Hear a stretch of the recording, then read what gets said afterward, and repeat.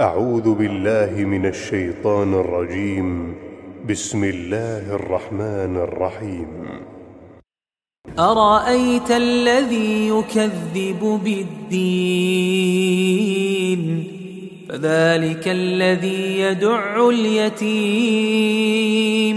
ولا يحض على طعام المسكين.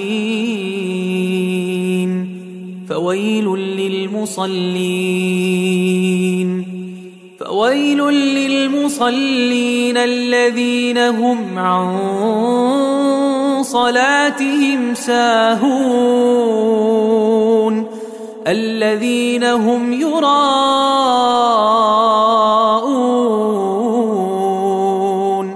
ويمنعون الماعون